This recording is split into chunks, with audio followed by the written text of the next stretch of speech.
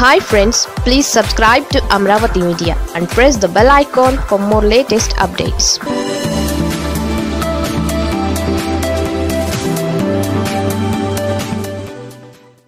ఓట్ల కోసం ఒక పార్టీ నోట్ల కోసం మరో పార్టీ. చంద్రబాబు లెక్కలు ఇవే. చంద్రబాబు వచ్చే ఎన్నికలకు ఇప్పటి నుంచే సిద్ధమవుతున్నారు. పార్టీ యంత్రాంగాన్ని యాక్టివ్ చేసే పనిలో ఉన్నారు. ఆయన భారతీయ జనతా పార్టీతో పొత్తు కోసమే ఎక్కువగా తహతహలాడుతున్నారు. ఎక్కువ స్థానాలను పొత్తుల్లో కోల్పోయినా సరే ఈసారి అధికారం చేపట్టాలంటే జనసేన బీజేపీల మద్దతు చంద్రబాబుకు అవసరం. ఓట్ల పరంగా జనసేన నోట్ల పరంగా బీజేపీ సహకారం అవసరమన్నది చంద్రబాబు భావన.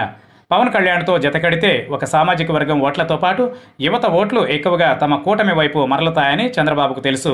పవన్ కళ్యాణ్ కూడా టీడీపీతో పొత్తుకు సుముఖంగానే ఉన్నారు. దీంతో సీట్ల విషయంలో రాజీపడినా పవన్తో జతకట్టేందుకు మానసికంగా చంద్రబాబు ఎప్పుడూ సిద్ధమయ్యారు.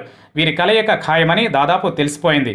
రెండు పార్టీల నేతలు కూడా పొత్తు ప్రకటన కోసం ఆసక్తిగా ఎదురు చూస్తున్నారు ఇక బీజేపీ అవసరం చంద్రబాబుకు చాలా ఉంది. కేంద్రంలో అధికారంలో ఉన్న పార్టీతో సఖ్యత లేకుంటే నిధుల విషయంలో ఇబ్బందులు తప్పవు. ఆ విషయం గత ఎన్నికల్లోనే చంద్రబాబుకు ఎదురైంది వచ్చే ఎన్నికలలో జగన్ను ఎదుర్కొనాలంటే నిధుల అవసరం చాలా ఉంది. నిధులు ఇచ్చేందుకు సుముఖంగా ఉన్నా కేంద్ర ప్రభుత్వానికి భయపడి ఎవరూ ఫండింగ్ చేసేందుకు ముందుకు రావడం లేదు. దీంతో పాటు ఈడీ సిబిఐ వంటి సోదాల నుంచి మినహాయింపు లభిస్తుంది. అందుకే కాంగ్రెస్కు దూరంగా చంద్రబాబు ఉంటున్నారు. కనీసం బీజేపీ ఇతర నేతలతో చంద్రబాబు దూరాన్ని మెయింటైన్ చేస్తున్నారు. వచ్చే పార్లమెంట్ ఎన్నికల్లోనూ బీజేపీ అధికారంలోకి వస్తుందని చంద్రబాబు బలంగా నమ్ముతున్నారు. త్వరలోనే బీజేపీ అధినాయకత్వం నుంచి పిలుపు వస్తుందన్న ఆశతో ఉన్నారు. ఖచ్చితంగా బీజేపీతో పొత్తు కుదురుతుందని చంద్రబాబు నేతల వద్ద వ్యాఖ్యానిస్తున్నట్లు తెలిసింది.